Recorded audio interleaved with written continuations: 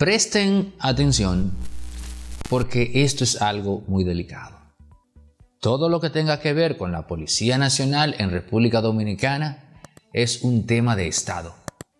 Por más crítica que nosotros, en términos cívicos y ciudadanos, tengamos hacia la institución del orden. ¿Mm? La institución del orden.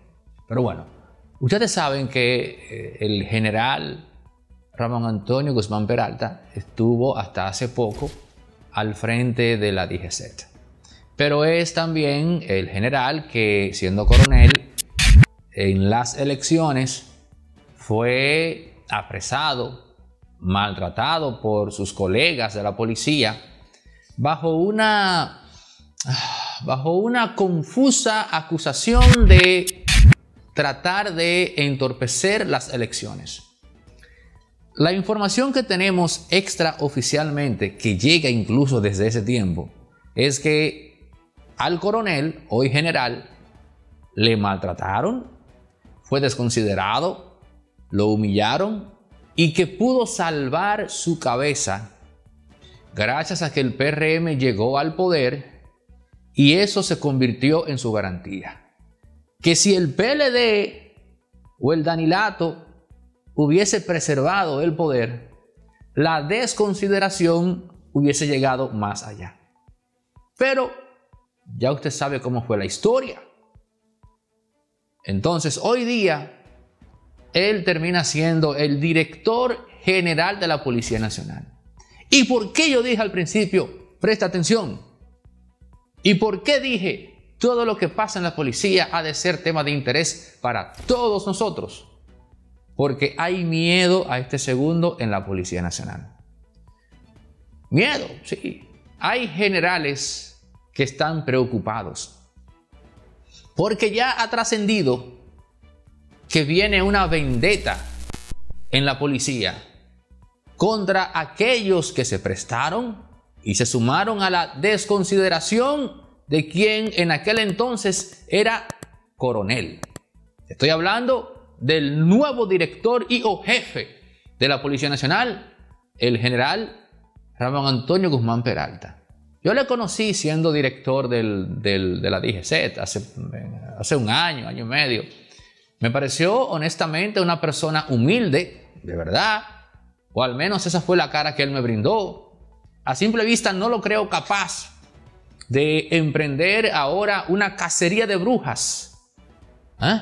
En la Policía Nacional, como en los tiempos de la Inquisición, en la Edad Media. Pero sea dicha la verdad. Hay preocupación y hay generales que están ya a la defensa. O sea, en sistema de alerta y de defensa. ¿Y por qué eso es peligroso? Porque cuando dije miedo, no me refería al miedo que tiende a inhibirte, no. Me refiero al miedo y o preocupación que te lleva a ti como ser humano a estar en alerta y hacer esas cosas que en situaciones normales a ti nunca se te ocurriría hacer. Y luego dije, tenemos que estar pendientes de eso, porque es posible que bajo esa percepción de una amenaza, o más bien de una venganza inminente, estos generales en miedo, activando su sistema de alerta, sean capaces de hacer cosas que afecten directamente a la sociedad civil. Porque cuando la policía, o más bien cuando se da un enfrentamiento de poderosos en la Policía Nacional, esos poderosos usan como campo de batalla la sociedad civil. Y sea dicha la verdad también en este caso. Cuando digo usan como campo de batalla a la sociedad civil, estamos hablando, señores, de que estos generales tienen sus, bandas, que cual si fuesen antisociales. Esto usted, que es ingenuo, le será difícil creerlo. Pero tienen sus pistoleros dentro de la Policía Nacional, que son psicópatas, que no lo piensan ni siquiera una vez para aliciar a una persona dándole un tiro. porque hay que estremecer la opinión pública. Es a ese nivel que esa gente se maneja. Muchos de esos tiroteos de carros que usted ha visto, y cuando la campaña aquella de policía no me mate, yo me paro en lo claro. Señores, eran bandas de antisociales dentro de la policía, activadas por generales. Y lo peor es que muchos de esos psicópatas son premiados con ascensos en la policía. Y cuando son premiados con ascenso y tienen poder, lo que hacen es replicar el modelo del cual ellos fueron obreros. Esa es la desgracia en la cual la lucha de poder interna de la policía termina comprometiendo la tranquilidad y la paz de la sociedad civil. Y por eso es que este asunto de que el general Ramón Antonio Guzmán Peralta, nuevo jefe de la policía, viene con una venganza, no ayuda en nada. Mi consejo al nuevo director de la Policía Nacional es que desactive eso. Es que deje claro, no sé cómo, para que vuelva la tranquilidad a la institución del orden y recupere, y disculpen la cacofonía, el orden interno. Haga algo general. Deje claro que esa venganza no va. Lo estoy diciendo incluso por el bien de su gestión en la Policía Nacional. Desactive eso, júntese con esos generales que usted sabe quiénes fueron y dígales algo así como, tranquilo, yo sé que ustedes en su momento estaban cumpliendo con su deber. Tranquilos. Yo sé que en ese momento había mucha presión. Yo puedo comprender eso. Váyase por ahí, pero desactive esa percepción de que usted vino con látigo en mano a vengarse de todo aquel que en su momento lo maltrató. Mi nombre es Robinson, tengo 32 años, y vivo en Bonao. Eh, trabajo en un colmado, hago delivery y atiendo a la gente. Yo vivo con mi madre y con una tía mía. Eh, yo me enteré por, por, vía de un amigo mío que me dijo que se sacó 50 mil pesos, que agarró tres números y le dieron 50 mil pesos, que le faltó un número para los 25 millones. Después de ahí yo empecé a jugarlo también. En la banca jugué, me paré a jugarlo. Lo chequeé a las dos a ver si yo me había sacado los 25 millones. Entonces ahí ve que no me saca los 25 millones, lo dar para el código del sábado. Yo soy un cliente fiel de la Garra 4. Eh, yo me enteré porque un amigo mío me dijo que se habían sacado el millón aquí en Bonao. Entonces yo le dije a él que yo tenía un boleto. Cuando llegué a mi casa, ese era. Cuando vi que era yo, me puse muy feliz porque me había sacado un millón con los tedón. Y llamé a mi madre de una vez y se lo dije. El objetivo mío es, con el millón de la Garra 4, ayudar a mi madre a construir un solar que ella tiene y eh, que jueguen en la Garra 4, que es algo confiable, que es algo de verdad, que con solo 25 pesos se pueden sacar 25 millones y un millón también los sábados gratis, como yo me lo saqué también. Yo me gané un millón gratis con los Tedón, estoy muy contento. Farmacia Medicar GBC está abierta de lunes a domingo, sigue en pie con su descuento de un 20% y también tiene su app que pueden descargar eh, los amantes de Android y la gente también de Apple. Farmacia Medicar GBC, la de nosotros los dominicanos.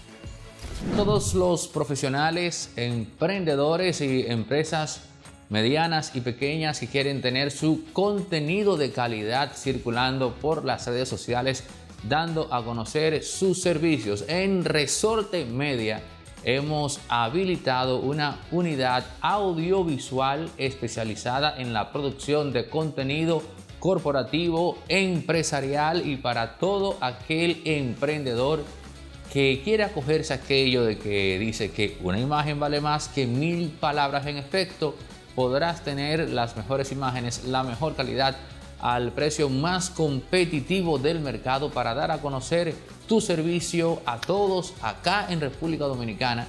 E incluso si tu empresa capta clientes en el extranjero, también podrás contar con eso Contáctanos, escríbenos al 829-741-3061 para que arranques desde ya a colgar contenido en tus redes sociales con la mejor calidad audiovisual posible, la que Resorte Media pone a tu disposición con el presupuesto más eh, asequible del mercado.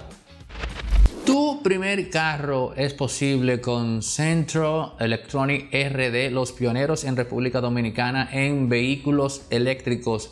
Desastre de el consumo en combustible fósil y lleva, oigan esto que voy a decir, un consumo promedio de 10 o 15 mil pesos te puede quedar en un mes entre 500 y 1000 pesos si tu vehículo es eléctrico. Pero también Centro Electronic RD tiene, eh, tiene una flotilla vasta, extensa de vehículos para fines corporativos y empresariales. Centro Electronic RD, tu primer vehículo eléctrico totalmente para que la factura del combustible no sea una carga. Y para las empresas, tenemos camiones, tenemos vehículos tipo deliveries, camionetas, en fin, para que también el costo en combustible en grado amplio no sea una carga. Centro Electronic RD, teléfonos en pantalla para más información. Si vas de parte de Impolíticamente Correcto, tienes un descuento de 500 dólares en cada compra.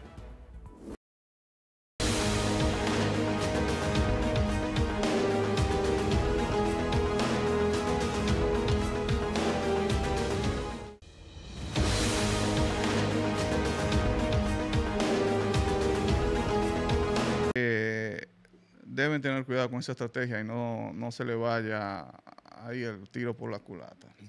mira, tú sabes que como estamos en aspectos eh, electorales, en el año electoral, yo tengo mis, mis reservas con todo lo que está aconteciendo ahora. Hay que ver cómo termina de cuajarse el tema de la alianza de opositora con relación a las elecciones que vienen, porque eh, está llamando mucho la atención decisiones que está tomando la Junta, acciones que está haciendo el gobierno y decisiones que está tomando el presidente. Fíjate cómo el presidente ha nombrado su gabinete de campaña a todos los funcionarios actuales. estamos hablando que él no dejó fuera prácticamente a nadie. Él dejó el equipo económico del gobierno, lo convirtió en el equipo económico de su campaña. Entonces ahora que Raquel eh, Albaje haga esta, esta movida, un tanto jocosa, ¿no? Que llama mucha atención, se hizo viral de una vez, como es costumbre, las acciones de ella tan espontáneas y la gente la quiere mucho, sabe que la gente hace mucha, la mujer dominicana de una vez eh, engancha mucho con, la figura de la primera dama, porque se ven como representados, una mujer de poder, la esposa del, jefe, del, jefe de Estado y tal. Eh, a mí me llama mucho la atención, ¿por qué? Porque electoralmente aquí hay un debate. Eh, a nivel nacional en tema de, de política partidaria, ¿no? que va a marcar un antes y un después. Estamos en el año electoral y las leyes permiten, por ejemplo, las actividades políticas. Sin embargo, la Junta llamó a capítulo a los diferentes partidos de que no pueden hacer manifestaciones eh, abiertas, de que no pueden colocar vallas y afiches, que solamente utilicen los medios de comunicación tradicional y tal. Y fíjate que esa primera actividad del presidente fue respetando en cierta manera, en cierta manera, esos parámetros que te, dijo la Junta. Ellos dijeron no, como partido, que tienen que obedecer las leyes de la República Dominicana. Y fíjate que ese, evento fue cerrado. Cerrado. Porque yo llamo, te llamo a, colación a eso, porque el gobierno, evidentemente, va a seguir haciendo sus actividades eh, normales de inauguración de obra y tal, y eso van a ser en actividades abiertas. ¿Cómo tú evitas que en una actividad abierta aparezcan algunos manifestantes pidiendo la reelección del presidente? Entonces, si tú conjugas eso con, una, con, la reintroducción de Raquel en, el panorama político de opinión, de donde quiera que se mueva, hablando de su esposo, que para la reelección, ¿qué tal? Eh, tú, eh, eh, para, yo estoy viendo como una estrategia ya definida del gobierno y del partido de gobierno de hacer una campaña apostando a las funciones normales de gobierno del presidente, justificando eh, el accionar de su equipo de campaña, porque también son funcionarios y los que están trabajando, Para, para, respetar la ley, que, la, norma que pone la Junta Central Electoral, entonces darle a que la Junta entonces persiga a los partidos de oposición. Entonces yo veo esta introducción de, de, Raquel y las acciones del presidente designando a los funcionarios, yo lo veo todo como que está orquestado para distraer de la opinión pública. Esa,